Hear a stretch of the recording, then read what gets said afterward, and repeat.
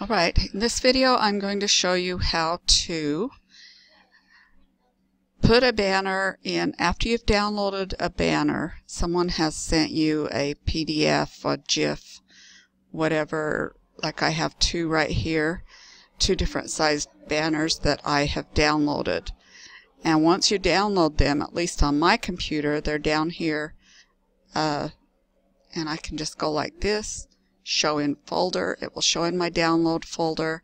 I can, excuse me, I can rename it and move it or copy it to a folder where it's easier to find.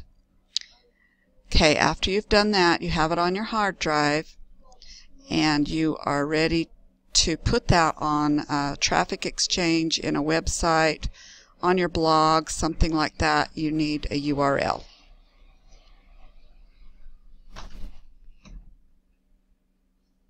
So Imgur, you can see here imgur.com, I-M-G-U-R.com is a good place to host images and banners. This banner is a GIF.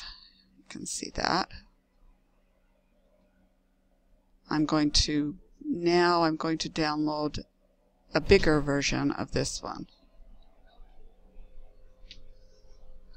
So what I do is I just go to my account here after you make a free account, you just uh, log into your account and then go to images and then that will give you the option right here to add image.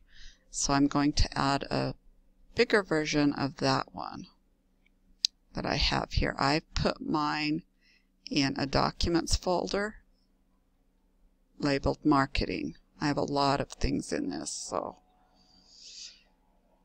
in fact, let's just do the 125 by 125. There's one that has a mistake in it. I hope it's not this one, but we will see.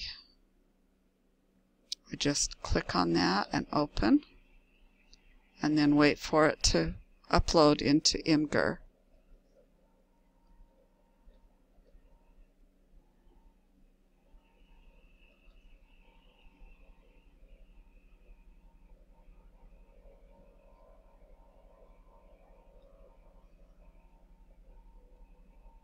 Then you have to go back to all your images so before it will show up.